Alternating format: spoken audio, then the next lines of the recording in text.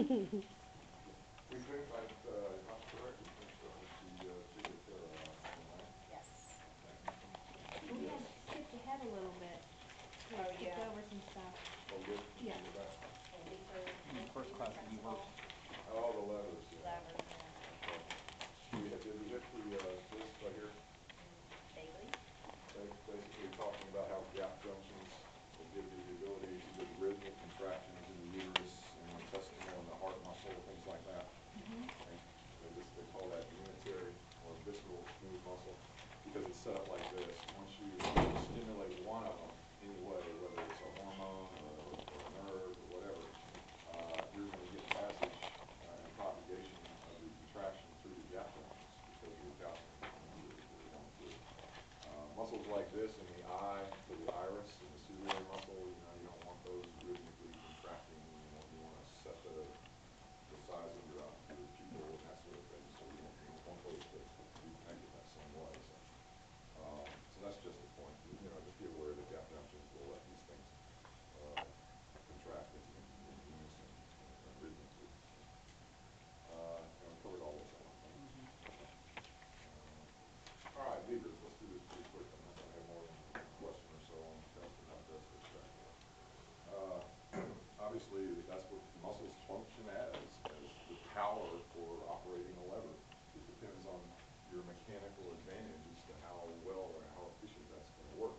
Uh, uh, The, the the lever principle basically is almost like the C one, E two, C two, V two equation, okay? Divide together, to match, okay? So if I'm gonna have twice the weight on this side, I have to have half the distance from my fulcrum, okay? So when you multiply it, you're, you're, still gonna be equal, okay? That's, that's called the lever principle. So obviously, um, uh, depending on your lever arm here, uh, you have, if this gets longer and longer and longer, I can have less weight over here to hold that big thing up on the other side, right? So theoretically, with the right kind of lever, you could, you know, s- put a lever underneath your car, stick it in here, and if your lever arm was long enough, you could walk out to the end and flip your car over, okay? Because it doesn't take much weight if the lever arm is really long. So that's, that's the principle. So there's three kinds of levers that we'll talk about here. The first class lever is like the seesaw, okay? That's where you have one weight on one side and one weight on the other side. Uh, if it's a weight, they'll balance depending on the distance to the fulcrum, like I just said. Uh, but many times, it's, uh, this is gonna be a bone, this is gonna be a joint, okay? And you're either gonna be pulling or pushing on the lever arm with a muscle, okay?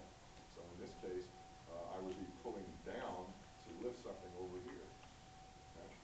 Uh, the, one of the ones that, that works nicely with this is the head, the, the occipital condyle sitting on the atlas.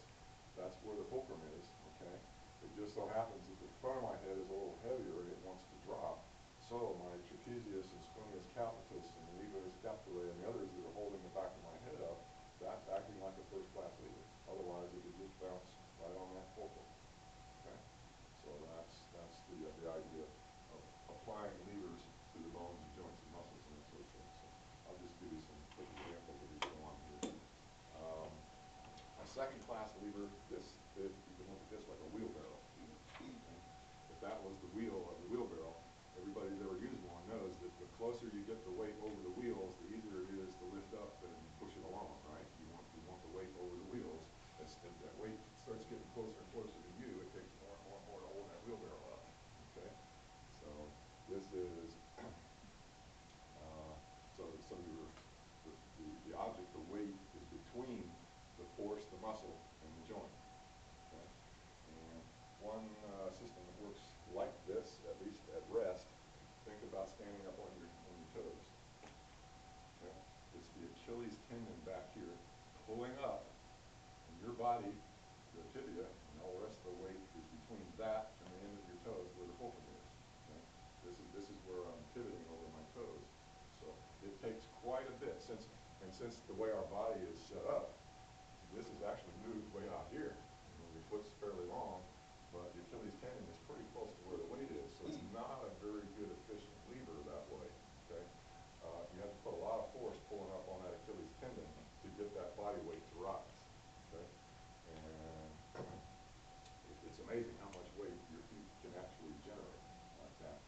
you're actually running upstairs, putting a lot of weight, and, and the weight is coming down on your feet, your, your Achilles uh, is, is taking care of hundreds of pounds of pressure to do that.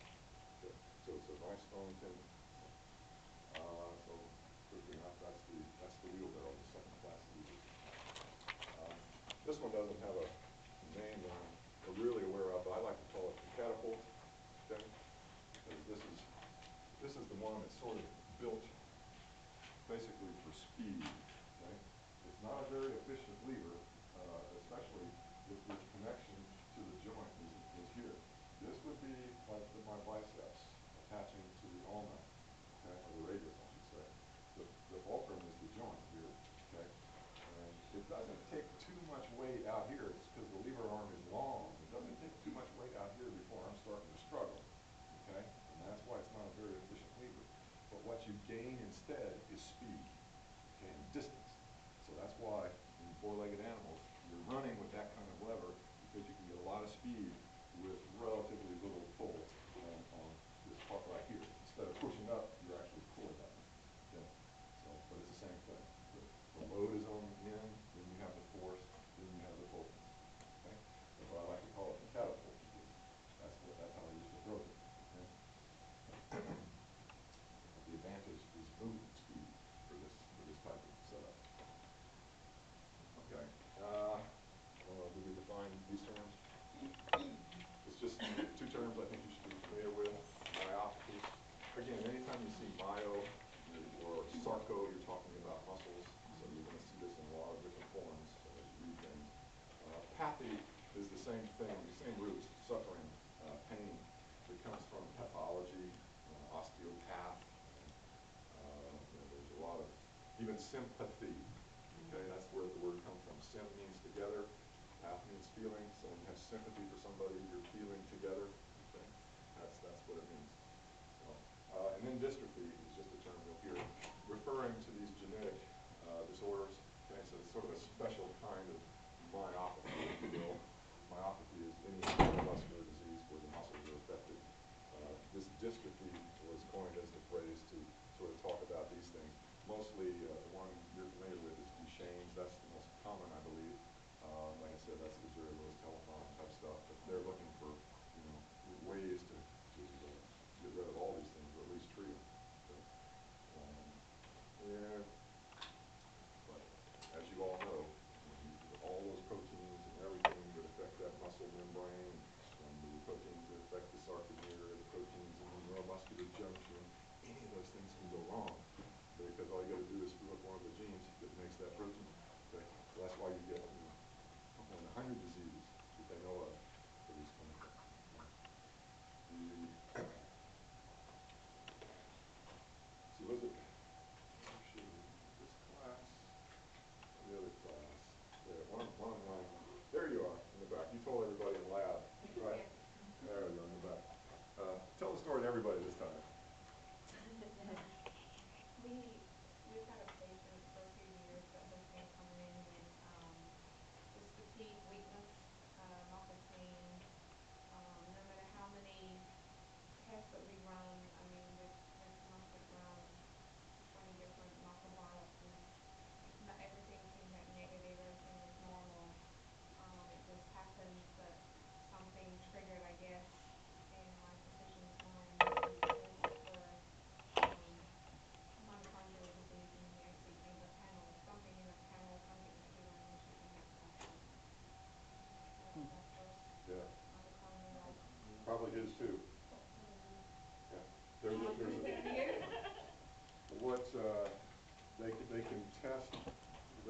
antibodies against some of these mitochondrial proteins, but there's also, when you have damaged structures, these proteins leak out and they can measure levels of them, things like that. Uh, It- it's not one of the levels. And some of it might, even- might even be a, a genetic test, but there, there's a mitochondrial panel. I never even had a chance to draw one when I suspected the problem, so I might have missed something, you know? But, uh, it's, it's, it was a good pickup that he was finally driven to that to test. It took years though, right? And that's the typical thing that I'm saying about those kind of disorders. The symptoms are so vague that it's hard for a physician to say, finally, we need to test for mitochondrial disorders, you know? Uh, but eventually, hopefully, you know, it gets around to things like that, especially when it's obvious that the symptoms aren't going away or that they're not psychiatric and this sort of thing. So, And this would be no cure for a mitochondrial disease. Right. But it would just be management, you just Right. manage the pain or Right. manage the discomfort or something like that. Right. And there's all kinds of websites that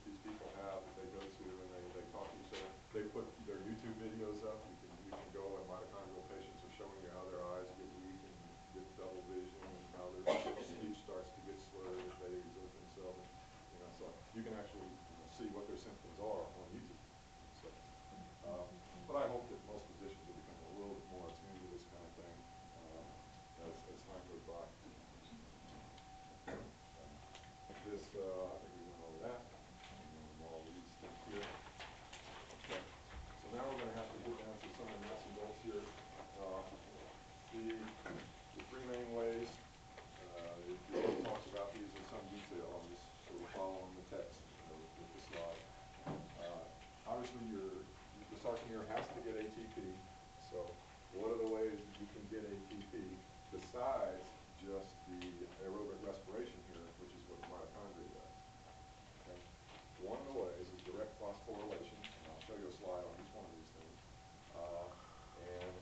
not use oxygen, it just transfers phosphate from a compound to ADP to make ATP, and there's a certain amount of this stuff floating around in the cell.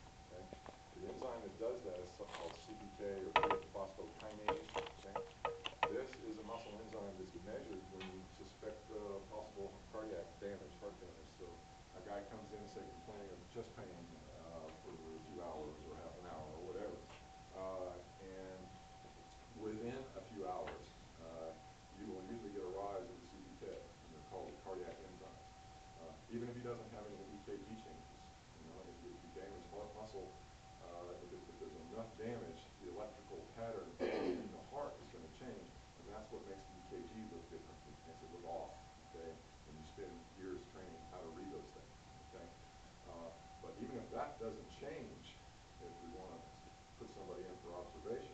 You do the CPKs and the cardiac enzymes about every six hours overnight, okay? And if you start to see a rise,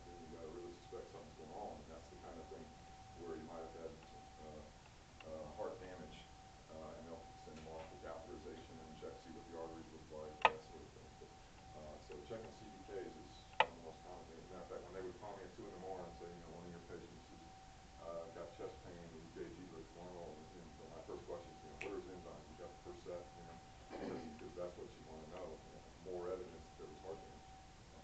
Uh, these kind of enzymes, uh, the, well, there's other enzymes too in, in regular muscle that, that will get elevated. I'll show you one here in a second. Doctor, yeah. the creatine.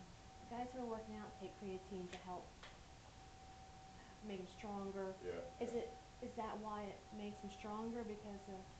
No, creatine is one of the building blocks of some of the uh, amino acids and, Okay. and protein things that the mm-hmm. body scrambles this up. And, and you can see it, it's basically an amino acid. Okay. Here's, here's your acid, Mhm. second carbon, there's your